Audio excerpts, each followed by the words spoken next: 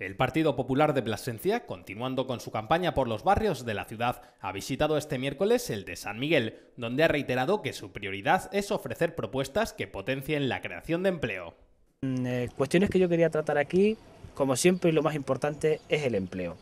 Nosotros siempre hemos estado hablando de la, potenciación de determinados yacimientos de empleo, como son el turismo, la dependencia, la agricultura, el medio ambiente e incluso la tecnología, ¿no? las nuevas tecnologías. En este caso yo creo que también tenemos que hacer especial hincapié en, eh, volver a activar uno de los motores económicos más importantes de esta ciudad, que ha sido la construcción.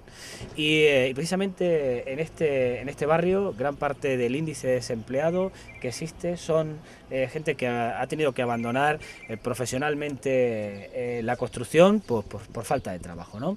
Para eso nosotros planteamos dos cuestiones muy importantes. La primera, la reactivación del Plan General de Ordenación Urbana, evidentemente, para que nos permita seguir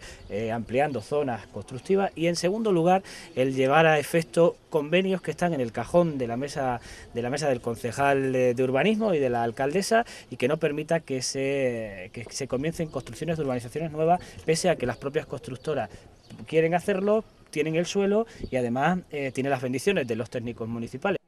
El candidato del PP a la alcaldía de Plasencia, Fernando Pizarro, ha propuesto llevar a cabo una recatalogación del Plan General Municipal del barrio de San Lázaro para convertirlo en una zona residencial y eliminar así el problema de seguridad que sufren los vecinos de la zona.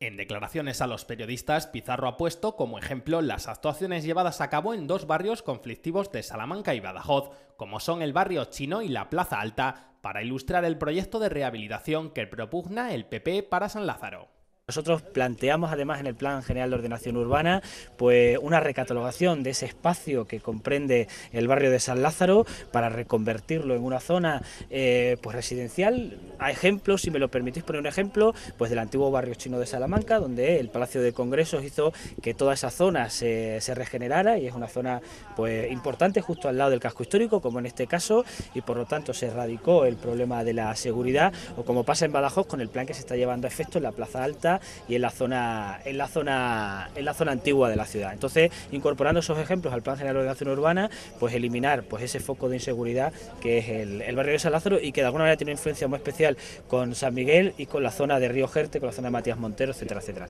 Además, ha anunciado un plan de mejora y acondicionamiento del Jerte para incorporar este río a su paso por Plasencia, a imagen de otras grandes ciudades como es Valladolid, con cuyo alcalde han tenido contacto los populares para tratar sobre este asunto incorporaciones en nuestro programa electoral, como lo ha sido siempre, como filosofía y también relacionada con el Plan General de Ordenación Urbana, pues es la incorporación del río a su paso por Plasencia, ¿no? A imagen de otras grandes ciudades que han incorporado el río de una manera de una manera muy especial, como es el caso, por ejemplo, de Valladolid, con cuyo alcalde hemos tenido eh, contactos con el fin de conocer cómo a través del Plan General de Ordenación Urbana se ha podido incorporar el río a la zona a la zona urbana como un elemento atractivo dentro de la ciudad y no como un elemento del que vimos a espaldas permanentes hace 800 años en esta ciudad, pese a ser casi el origen de nuestra ciudad.